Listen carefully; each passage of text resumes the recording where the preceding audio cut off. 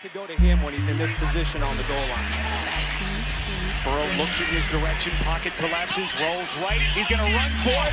Flag. It was at this moment that he knew he fucked up. Burrow's clutch. Football is loose.